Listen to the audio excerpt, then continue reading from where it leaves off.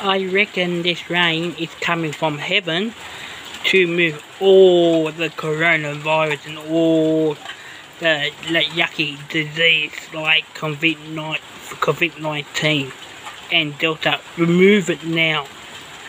This rain will continue from now right through to tomorrow morning.